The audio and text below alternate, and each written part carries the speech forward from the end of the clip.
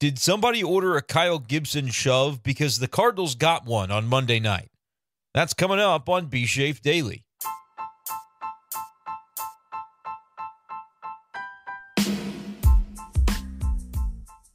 What's going on, everyone, and welcome in to this edition of B Shape Daily. It's Brenden Schaeffer. It's the early morning hours of Tuesday, April 2nd, 2024, or after midnight, so it is officially Tuesday now. As the Cardinals come away from game one in San Diego with a win. And how about Gibby, everybody? Kyle Gibson with the shove.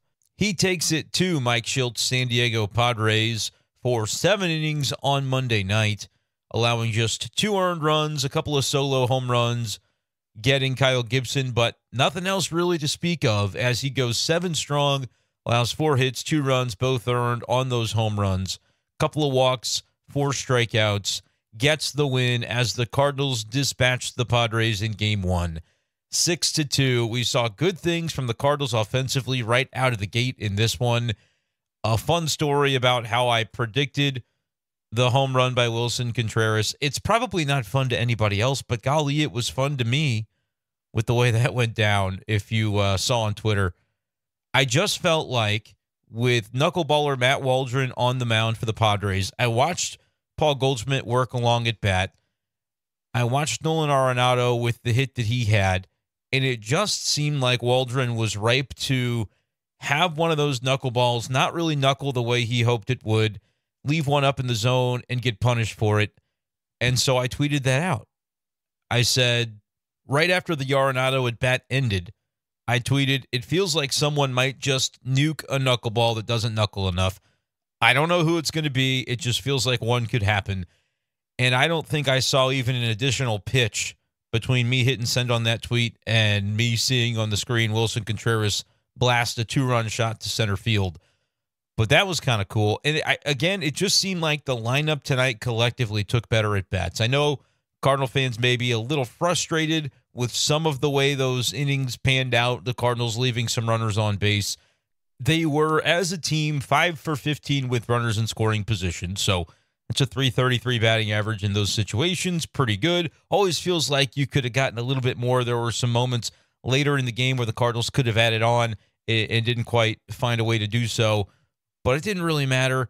Five for 15 with Risp, you'll take that. The 12 left on base, I think that just speaks to how up and down the lineup, as I mentioned, the Cardinals kept the line moving, did some really nice things. Still had 13 strikeouts as a team. I don't know if that's going away anytime soon. We made a, a little bit of a thing out of the 43 strikeouts over the first four games for the team offensively. Well, you can now add to that total. It's 56 through 5, so they're averaging just over 11 team strikeouts per game so far this season. But they get the win in the first game in San Diego with a chance now to go for the series win on Tuesday, and that'll be Miles Mikolas on the mound. But perhaps an opportunity to sort of flip the fortunes from how the original series of the season ended with the Cardinals losing three of four to the Dodgers. Now you're two and three, a chance to climb back into 500 in terms of the season record on Tuesday. Everybody's kind of feeling a little better, I think, the vibes surrounding this team. So we'll talk a little bit about Kyle Gibson's performance and how the lineup turned things around compared to how I think everybody was feeling a little bit let down by the way one through nine guys were hitting in that first series. You had everybody in the starting lineup today get at least one hit outside of Victor Scott II, who did draw a walk in the game had a couple of strikeouts. The batting average still kind of low for him. And for other guys like Arenado and Contreras, they're hitting 143. Jordan Walker hitting 200. But guys starting to finally come into their own a little bit. I say finally, it's only five games into the season, but I know that it's easy to get kind of restless about the way things are are carrying when you have a series go the way that the first one did for the Cardinals. So, going to get into all of that tonight on this episode of B Shape Daily. Appreciate you guys for being with me. Also, want to shout out anybody who checked out the live stream last night on Sunday night, I guess it was, as we went for like an hour and 40 minutes on YouTube breaking down the pitching decisions by Oli Marmol in that opening series and what we thought of where the rotation was at, where the offense was at. It was a lot of fun talking with everybody. Going to do more of those live streams in the future. Uh, thought about maybe doing one tonight, but the game with the 8:40 start, it got over a little bit late. I just wasn't sure after midnight when I would have been set up to begin the thing how many people would have been game to do it. It might have been a lot of people. And so if that's you, comment below if you like the live streams. I want to mix it up. I don't want to end up doing a live stream every single night because it does take a bit more out of me to be talking for. It just seems like the live streams go longer, you know, because there's there's great interaction there and people are commenting. If that's something that you haven't experienced before and you'd like to, make sure to hit the subscribe button in the lower right-hand corner of your screen. I've been doing this YouTube channel for about a year now and it still kind of dawns on me at times that hey, not everybody knows about this thing yet, and so I want to continue to to spread the word and get the word out to people that we do a lot of Cardinals content here on the channel. So hit that subscribe button if you enjoy these kind of videos, these kind of podcasts, the potential to hop in on live streams in the future, especially after road games. I'm going to try to do them. And so later on this week, before the home opener, I want to try to do at least one more live before the Cardinals come home for the homestand because then it does get a little bit more difficult. I'll be out at Busch Stadium covering the bulk of those games on the homestand and therefore not at home ready to hop on my computer at a given moment. So, anyway, hit subscribe if you enjoy the content. Enough rambling from me. Let's talk a little bit more about what we saw tonight from the Cardinals on Monday in a 6 to 2 win over the Padres. I want to begin with Kyle Gibson. I want to begin with his work that he did out of the Cardinal rotation, the number five spot in the rotation, the last starter that we got a chance to see in the one through five, obviously notwithstanding Sonny Gray, who would have been the leadoff pitcher this season for the Cardinals if not for the injury. But it, Gibby, I mean, you know, everybody kind of gave me some trouble about calling him Gibby, but I don't know how many people are going to have as much of a problem with it if he keeps pitching like he did tonight. Seven innings, two runs, gave up one to Jackson Merrill, gave up one to Fernando Tatis Jr., and that was it. That was really the only uh, scratching that the Padres offense was able to do against Kyle Gibson. And it felt like he had more than four strikeouts. I don't know why. It just, to me, it felt like he was missing some bats. He was making big pitches when he needed to. Uh, I was very impressed. 94 pitches, 57 strikes for Kyle Gibson. We saw Jojo Romero come on for a scoreless inning in relief. And then maybe an interesting decision by Oli Marmol after all the bullpen talk that we had on Sunday to go with Ryan Helsley then for the ninth inning in a non-save situation. It was a six to two game, a four-run lead, so therefore not a save with only three outs to go. And nevertheless, it was Helsley that went out there, and I think Oli was rewarded for it. Like I saw the timeline, everybody saying, "Why is it Helsley in this spot? It's not a safe situation." What's the thought process with that? Especially after feeling like some of the bullpen decisions in the Dodgers series ended up coming back to bite the Cardinals, and that seems like a pretty aggressive move to go with Helsley when it's not a safe spot. But I honestly don't have a huge problem with it, and I guess that's a little bit easier to say in hindsight. Which, to be fair, when that was going down, I wasn't tweeting up a storm saying, "Hey, I think this is crazy." I just was like, "Well, let's see it play out." Um, my tendency is not really to rip a, a bullpen decision in either direction, and it's not that I'm just waiting to find out what happens and then I can rip Oli accordingly. I think people who who watch or listen to my content tend to believe that I'm pretty fair about those sorts of things. And I'll tell you what I actually think in the moment. In the moment, for me, it was just like, well, I think this one's important. They're all important, and I understand that. You didn't use Helsley yesterday. He would have been available for an inning yesterday. And so to think that you could get into a spot in the ninth inning where maybe you extend JoJo and allow him to throw another inning, or maybe you bring in somebody else. You know you're you're burning one of your key relievers regardless in that spot. And it's not to say burning because it's a waste of a, of a guy. No you want to get the win and that matters and it's important to put your best foot forward. But like would you go Gallegos instead of Helsley? Does that make it any better? No because I think you're going to need Gallegos as well. You need all of these guys to be as fresh as possible. But in this case to go Helsley Uh, if he would have been available yesterday they didn't use him and he's your lockdown guy with a, a tough part of the lineup coming up I don't really have an issue with it. And again, that is easier to say after the fact when I didn't really make a public commentary in the moment of it. But it's just one of those things where it's like after the way the last series went, you almost had the split against the Dodgers. It would have had the team.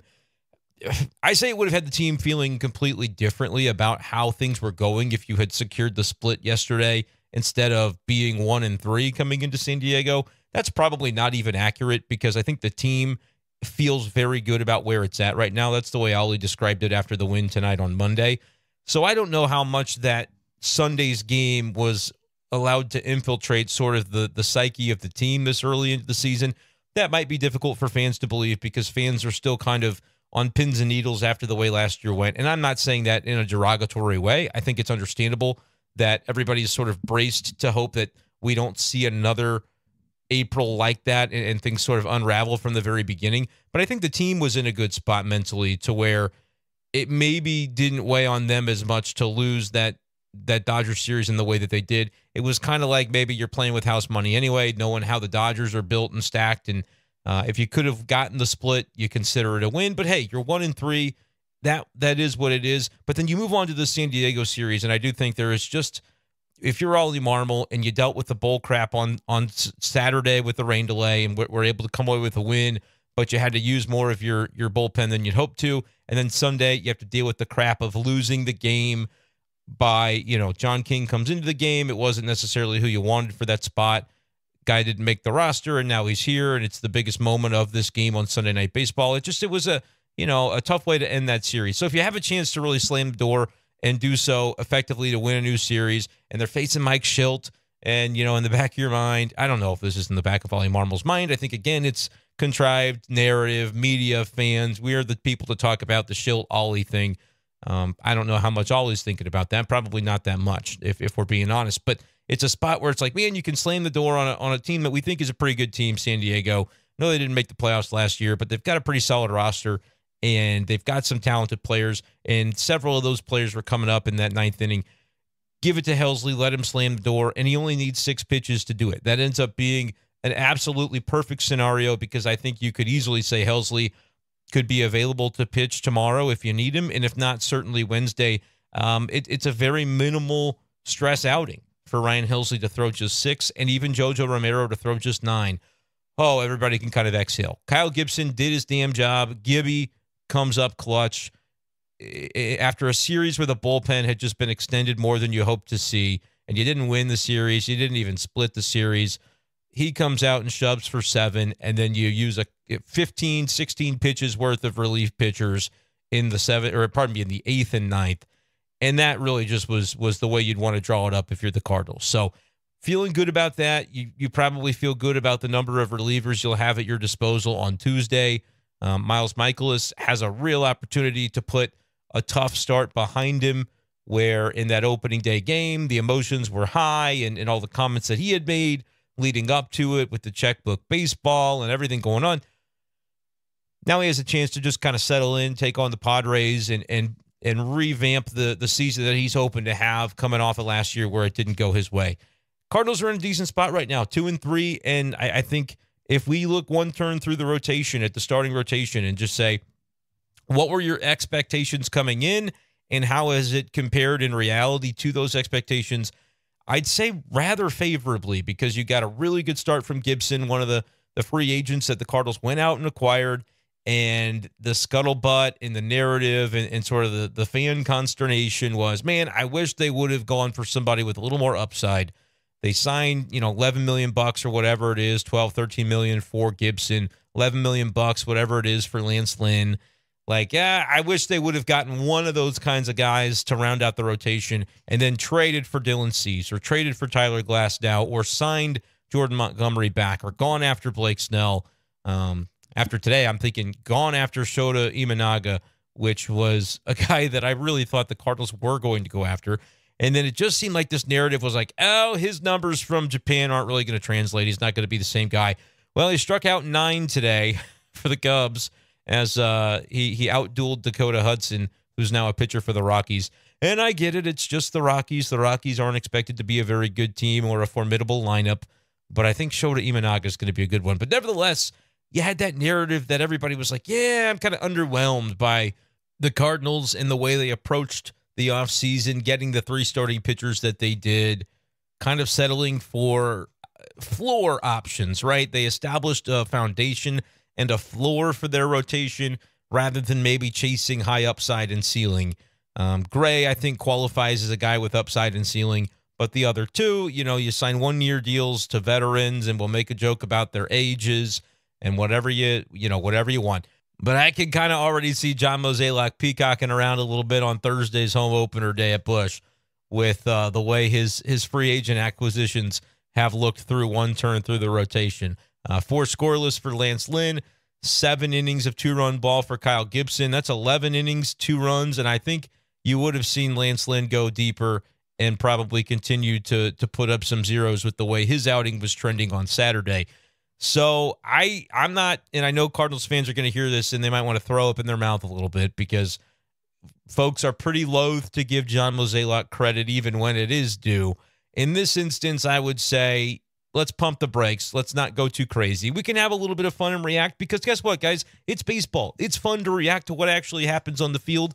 We always, I think, are smart enough. You guys are smart listeners, smart baseball observers. You're smart enough to know, like, we got to keep it in context. We can contextualize what these first outings, this first turn through the rotation looks like for these guys without saying, well, Kyle Gibson's going to have a 2.57 ERA this year and Lance Lynn's not going to give up an earned run. Like, we know that that's not going to be the case. But through one turn, Eh, when, when there was so much pressure on, okay, you're playing the Dodgers to begin the year, you're you're running out these old guy pitchers that you know are they a little bit retread? Are they a little bit, uh, you know, you're skeptical that they're going to be able to provide the upside of the rotation. And the fact that Lynn and Gibson, I think, looked like your two best starters through the first turn, that kind of means something. But it it just means what it means within the context of those one outing, you know, for each of those guys to this point. But it's not a bad way to start. Like if you had a decision of of you can choose whether to to start good or start bad. You'd rather start good, and I think both of them did. And now you're looking to see Miles Mikolas pick it up. You're looking to see Zack Thompson sort of hone in compared to uh, you know what he did in the first outing, where he, yeah, he gave up five runs, gave up three home runs, and that was you know you can kind of isolate that and say, well, otherwise he did some nice things. Can you avoid the mistakes in your second outing that could give people some some confidence as to the direction your season could take? Uh, if not, you know, then we'll be talking about how, you know, they've got a, a spot in the rotation that is probably going to be vacated with Sonny Gray coming back in within the next couple of weeks. But there's also the other side of it where Zack Thompson can pitch well and really force the issue on on his end. So, which is not to say that Sonny won't be getting his spot back, like he will be, but um, that there's still a proving ground, I think, for a guy like Zack Thompson, uh, a guy like Miles Mikolas that that wants to prove that last year isn't the pitcher that he is. I don't know. I think one turn through the rotation pretty pretty much passing marks. Uh, again, we don't have to go crazy about it. But what do you think, Cardinals fans? Let me know in the comment section below here on YouTube how you're feeling about the rotation after the outing by Kyle Gibson on Monday. I thought he was good. I thought the stuff looked really good. I thought he was pinpointing uh, location a lot of times in a way that you'd like to see. Look, Tatis took him deep. Jackson Merrill took him deep. We know the, t- the type of hitter that Tatis is. Uh, Merrill, I think, is is a guy who you know he earned his way onto this roster. Former top prospect he's he's going to make some other pitchers in the league look bad. It, it happens, man. If you're going to give up two solo home runs per game, I think you take that. If you are basically honing in on every other element in every other inning of your game, the way that Kyle Gibson did, got to feel pretty good about the way that that panned out. I don't know that he's going to give you seven and two every time he goes out there, but he did the first time. And if you're a Cardinals fan, I think you feel pretty good about that. You also feel pretty good, I imagine, about the way the offense looked tonight. Brendan Donovan is back. Uh, look, and I, I saw a comment on Twitter that said, "Well, did he ever leave?" And I said, "Well, there were some bet at bats that didn't look great." I mean, if you joined the live stream last night or had listened to B Shape Daily earlier in the weekend, we we talked a little bit bit about just the the strikeouts looking by Donovan. It just seemed like he wasn't 100% comfortable, 100% uh, sure of himself on certain pitches with what he wanted to uh, try to accomplish. And I, I, think yesterday he stung the ball for a, a two RBI double, if I'm recalling correctly, on Sunday.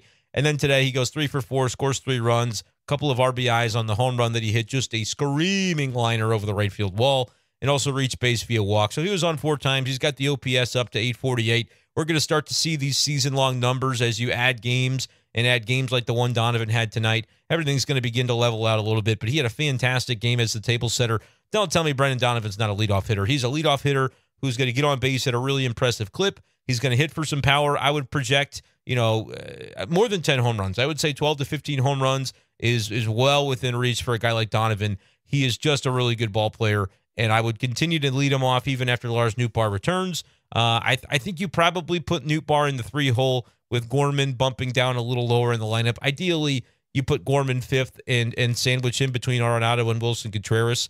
Um, Contreras may have you know uh, better better run than Gorman right now. Gorman's uh, sitting there with a 227 average and a, a 534 OPS after a one for five performance today. A couple of strikeouts.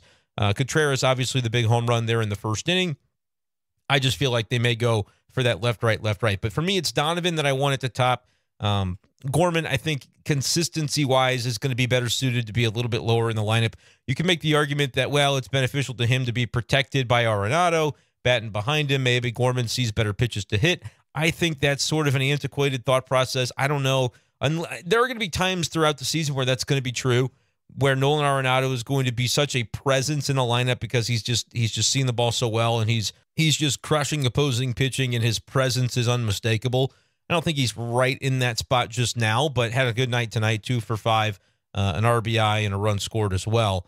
But I think there are going to be times throughout the year where you'll be able to feel that, and it could be beneficial to have a, a guy like Gorman batting ahead of a guy who's going in that route. But as of right now, I just don't know if it's actually that big of a difference. Like if you're the opposing pitcher, you're not thinking, all right, the guy on deck, you know, is really dangerous, so we have to do something different to Gorman. You're thinking, uh, we're going to try to get him out of the zone and, and make him chase a pitch low, make him chase that breaking ball below the strike zone. It's been working to a pretty good degree so far. He's striking out at a fair clip, and that's the way pitchers are going to approach him, I think, regardless of where he bats. So I want a little bit more consistency in the three hole, and I think Gorman, uh, it could be a benefit to the lineup to say, well, we've got a guy batting fifth that can be a 35 plus home run hitter in, in the big leagues. Like if he continues uh, to just develop and grow in his game, I'm not counting Gorman out of anything like that just through five games. And then having maybe Willson Contreras batting sixth, suddenly you're like, well, that is a really potent one through six on paper. The guys all have to perform, of course, but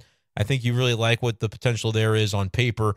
And then Jordan Walker. Uh, yes, the strikeouts are still sort of uh, out, out of control a little bit for Jay Walk right now, but he goes two for five tonight. Had some good swings that he put on the ball despite the three strikeouts in the other at bats had a ridiculous Air Jordan flying lay it out catch in right field that he sort of gave the Michael Jordan shrug afterwards coming off the field. I love that the Bally Sports Midwest cameras caught that from Walker. Just kind of like, yeah, it, you know, I don't know. It is what it is. So really good to see him have a moment like that. And maybe that allows him to build a little bit of confidence defensively. He is an athlete, an athletic guy. Um, just a matter of time, I think, before he gets going consistently offensively and then maybe a little bit uh, in the defensive department as well. But he's your seventh batter. And I think that if he gets going one through seven, ends up just being really potent for this lineup.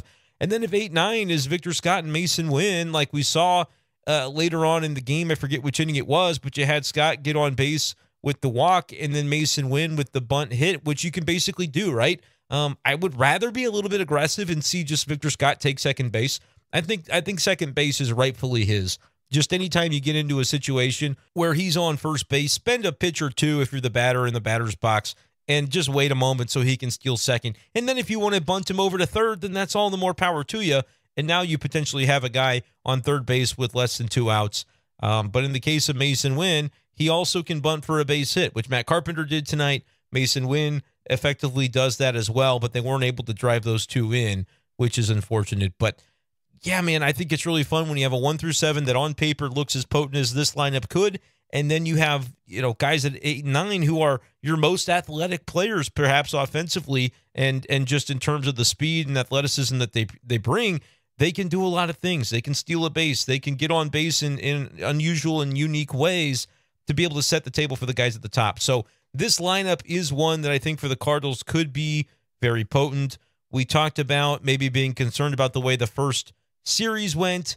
And the more games the Cardinals play against teams who are not the Dodgers, the more we'll be able to kind of settle in and know, okay, was what we saw in that first series the result of the Cardinals just playing the best team in baseball or one of the the very best teams in baseball or you know was it something that that we can look back on as a sign of things to come but i would say tonight you, you know even even against a knuckleballer it was kind of coming into the game one of those thoughts where maybe you could have some concern that, uh oh, you know, if if push comes to shove, it's going to be one of those nights because this is a, a unique and kind of different pitcher. For years, it was oh the the soft tossing lefty that the Cardinals hadn't seen before. They can't do anything with a guy like that, and so even though on paper this should be a matchup where they could rake, it feels like they won't. That was often kind of narrative driven. I think after a number of years, the Cardinals would be able to dispel that, but at times it still feel like it, it pops up on you. And so tonight I thought, well, it's the knuckleballer. That's going to be the thing that if they get got, they get got. And for a number of at bats, they did. Waldron had seven strikeouts in four innings. He was he was making guys look silly at times, but if that knuckleball's not crispy every single time, you are going to find times where you'll pay for it. And he did against Contreras, and the Cardinals were able to get four runs against him, nine hits against him in those four innings, also walked a man. So I, I would say up and down the lineup, they did their job. They added on a couple runs as well against Jhony Brito, courtesy of the Brendan Donovan home run in the sixth inning. A nice all around performance, I think, from the team tonight. Offense did its job. It could have capitalized a little bit more than the five for 15 with Risp, but again, that's 333. You know, you get a you get on base as often as the Cardinals did tonight. You're gonna leave some guys on base, and that's not gonna be the end of the world.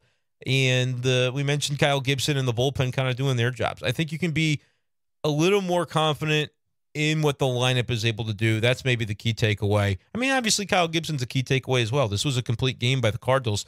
It's just because, and I'll continue to reiterate it, the the Cardinals are built in such a way that the lineup will have to carry them.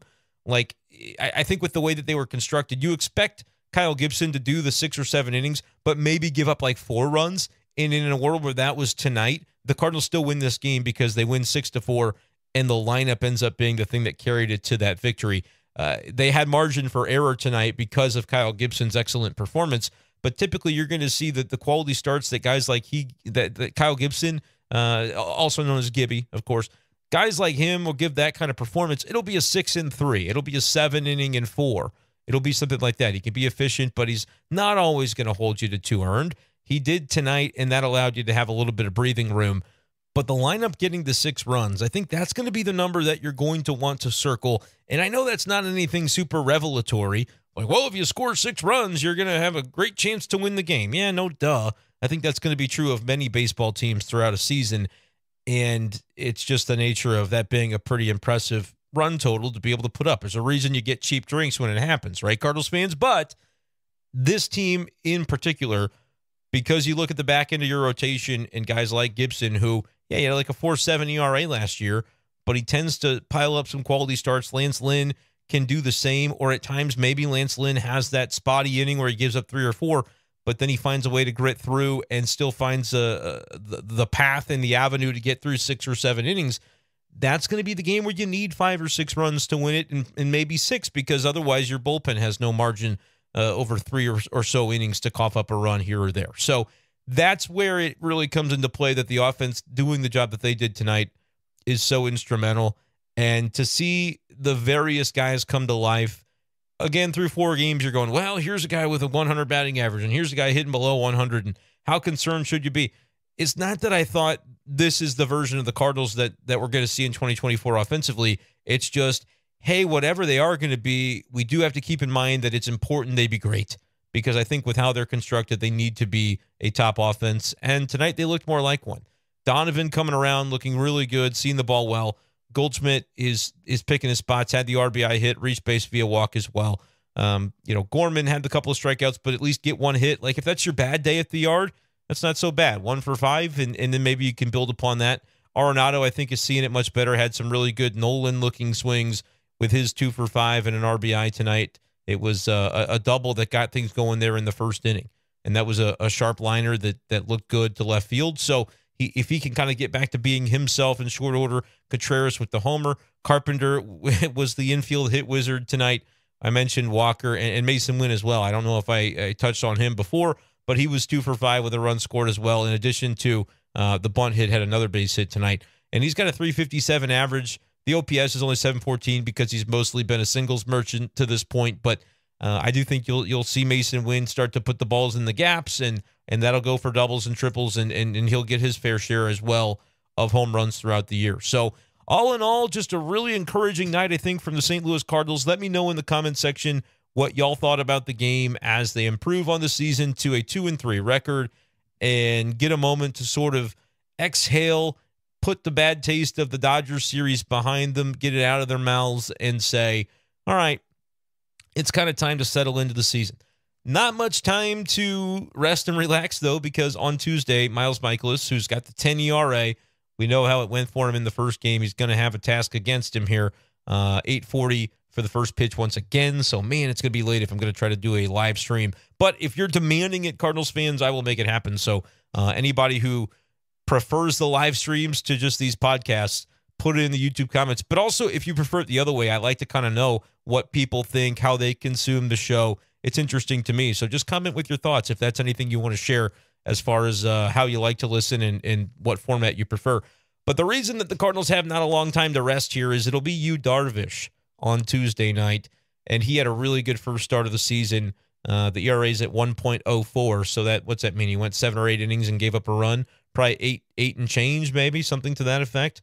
Not entirely sure. Actually, it may be that he's pitched twice because I think he pitched in the Korea series as well. But 10 strikeouts uh, for Yu Darvish. He's got a one ERA. So Cardinals are somewhat familiar with him over the years. We'll give you a little game preview action right here because I can pull up the pitcher versus uh, batter stats when it comes to Yu Darvish and the Cardinals. Arenado's 8 for 20 against him with three home runs, so keep an eye on him tomorrow. It's a 400 batting average and an 850 slug. Uh, looks like 6 for 14 for Matt Carpenter, so maybe you see him in the lineup again. Was in there tonight at DH in lieu of Burleson. Those two have been sort of ping ponging back and forth. I figure they'll get Burley at least one more shot at it.